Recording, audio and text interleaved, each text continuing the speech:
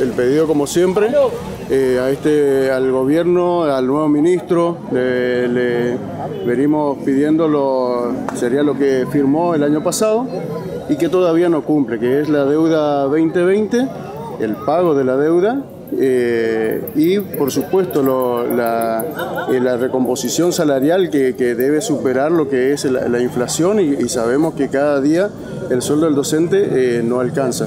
También por ahí como hablamos siempre y es reiterativo lo que venimos diciendo, lo que tiene que ver con reconocimientos médicos en cada localidad que se están ahorrando millones y millones al no poner reconocimientos médicos como fue siempre en cada localidad, ellos se ahorran y está sufriendo el docente, está sufriendo el colega que está sacando la licencia y por supuesto también el docente que es designado, que no sabe cuánto va a cobrar.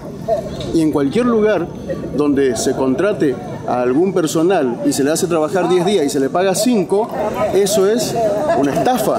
Entonces eso es lo que está pasando con respecto a lo que es eh, reconocimientos médicos y las licencias de los docentes.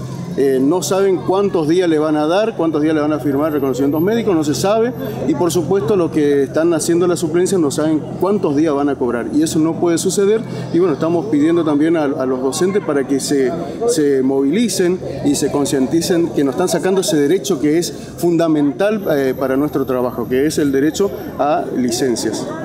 Pablo, ¿qué hay que hacer para cambiar? Y bueno, Julio, para cambiar lo que hay que hacer hay que involucrarse y hay que tomar conciencia de que mm, si acá no nos involucramos, todos los docentes no nos sumamos, eh, lamentablemente a fin de año vamos a estar tan pobres como hoy estamos. Julio, para para cambiar, para cambiar esto hay que involucrarse acá.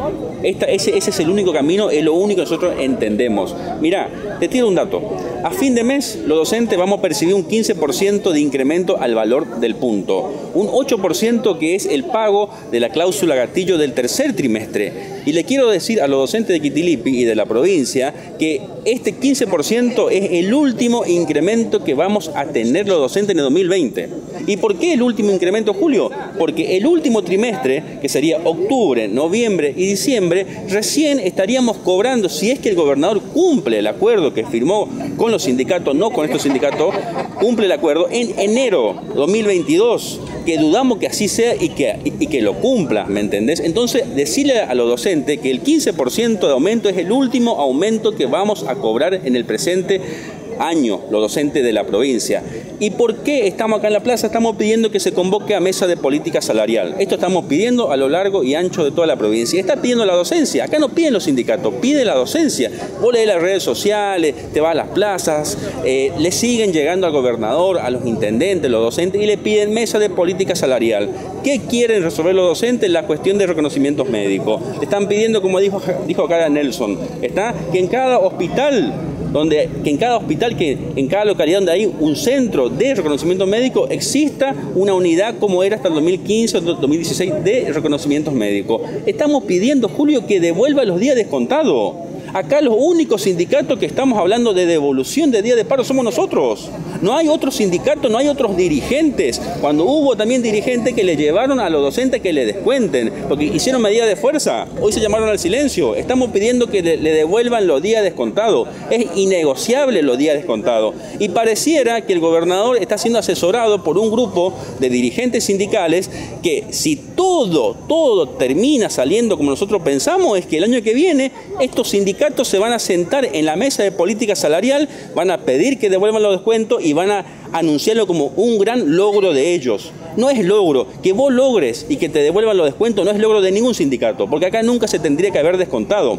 Y lo que yo siempre digo, Julio, acá la dirigencia sindical tiene que estar unida cuando le descuentan a un trabajador, cuando tocan a un docente tiene que unirse la dirigencia. Y acá hay muchos dirigentes que inclusive le descontaron a sus afiliados y hoy están llamado al silencio, están haciendo silencio. Evidentemente están conformes o no quieren que se, devuelvan, que se devuelvan los descuentos. Esto es lo que estamos pidiendo los sindicatos, devolución de día de paro, que se convoque a mesa de política salarial, decirle al gobernador también y al ministro Aldo Lineras que acá con el, eh, con el 7% que paga por afuera de la cláusula no resuelve el conflicto que ellos mismos generaron en el 2020 cuando no cumplieron el acuerdo de la cláusula gatillo, cláusula de revisión 30 20% no deben. Es decir, que ahora nos estarían debiendo un 23%, que tenemos que ir actualizando todos los meses este porcentaje, sin hablar 2017 y 2018. ¿Qué va a pasar si no hay respuesta? Seguiremos en las calles, seguiremos en las calles. Los docentes vamos a seguir movilizándonos. Así seamos cuatro o cinco docentes, vamos a seguir movilizándonos. Porque hay que concientizar no solamente, no solamente al docente que nos está viniendo, sino también a la comunidad, al papá, a la mamá, al comerciante. Y hay que decirle también a los comerciantes de Quitilipi que muchas veces el docente no paga las deudas porque tiene que elegir entre pagar, por ejemplo, la farmacia, el carnicero, la luz. Vos pasás por Seche, está completo, está, es, son infinitas las colas, larga cola. ¿Y por qué? Porque el docente cobra 35 mil pesos de bolsillo.